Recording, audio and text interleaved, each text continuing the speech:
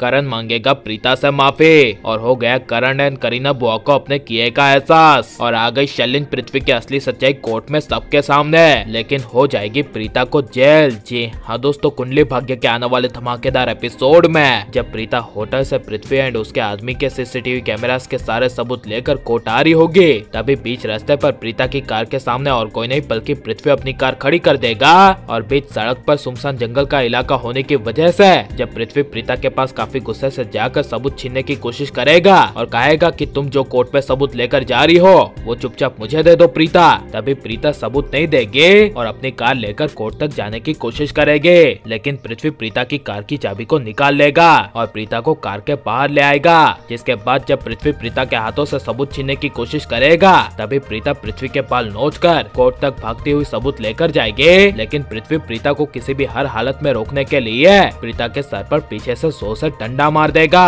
और प्रीता सो से वहीं गिर पड़ेगी, जिसके बाद जब पृथ्वी प्रीता के हाथों से सबूत छीनने की कोशिश करेगा, तभी प्रीता वही डंडा लेकर पृथ्वी के सर पर ज़ोर से मार देगी और नज़दीक में ही कुछ पुलिस वाले होने की वजह से, जब पुलिस वाले पृथ्वी को प्रीता से लड़ते हुए देखेंगे, तभी पुलिस वाले प्रीता के पास आ जाएँगे और प्रीता कहेगी, इस मुजरिम को गिरफ़्तार कर लो।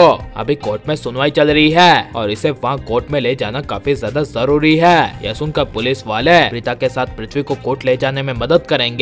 जहाँ पर जज साहब अपना फैसला सुनाने वाले होंगे। तभी प्रीता कोर्ट का दरवाज़ा खोलकर ज़ोर से चिल्लाकर कहेगी, रुकिए जज साहब, करण बेगुनाह है। असली गुनेगार ये है पृथ्वी मल्होत्रा। यह सुनकर कृतिका, करीना बुआ, शलिन, करण सबके होश उड़ जाएँगे। लेकिन जब प्रीता कोर्ट में पृथ्वी को असली गुनेगार साबित करने के लिए कहेगी कि करण को फंसाने वाला मास्टरमाइंड और कोई नहीं, बल्कि पृथ्वी है, और इसने करण को फंसाने के लिए उसका डुप्लीकेट हायर किया था, और साथ में इसका पार्टनर संदेश था, जिसने करण के डुप्लीकेट को पैसे दिए थे, उसका मेरे पास कन्फेशन भी है, और सारे सीसीटीवी कैमरा के वीडियो फुटेजेस के साथ सबूत है, जिससे अभी के अभी यहाँ पर साबित हो जाएगा कि करण बेगुना है और असली गुनेगार पृथ्वी है। यह सब खुलासा करते हुए प्रीता जब सबूत निकालेगी, तब प्रीता को होल्डर में से कोई भी सबूत नहीं मिलेगा और सबूत न मिलने की वजह से करण के पैरों तले ज़मीन खिसक जाएगी और सृष्टि समीर के होश उड़ जाएँगे और तभी पृथ्वी के चेहरे पर विलन वाली स्माइल आ जाएगी और पृथ्वी उल्टा प्रीता को फंसाते हुए कहेगा कि, जज साहब, इस प्रीता ने अभी जो कुछ भी यहाँ पर कहा, वो सब इसी की चाल है और मैंने ये सारे सबूत प्रीता के खिलाफ इकट्ठा किए थे। और ये जो प्रीता के हाथ में होल्डर है, वो भी मेरा है। और प्रीता ने पूरी दुनिया के सामने अपने आप को सच्चा दिखाने के लिए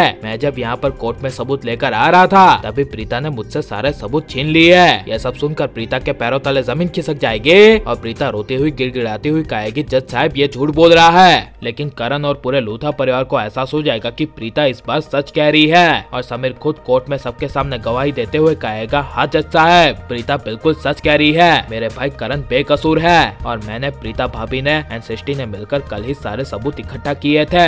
यह सुनकर करण करीना बुआ को अपने किए का एहसास होगा, लेकिन सबूत न होने की वजह से कोर्ट करण को सजा देने के बजाय करण की एक और सुनवाई होगी, इसका ऐलान कर देंगे, जिसके बाद जब प्रीता करण से मिलने के लिए जेल जाएगी, तभी मांगेगा करण प्रीता से माफ़ी। लेकिन प्रीता पर कोई भी एक लूथा परिवार का मेंबर भरोसा नहीं करता तो ये सब कुछ प्रीता को करण को बचाने के लिए करना चाहिए, क्या नहीं? और पृथ्वी इस बार बचना चाहिए क्या फिर उसे अब सजा मिल जानी चाहिए? और आपको किसकी जोड़ी सबसे ज़्यादा पसंद है? ऋषभ, प्रीता की या फिर करण प्रीता की? यह सब हमें कॉमेंट में ज़रूर बताए और आप लाइक और सब्सक्राइब करें।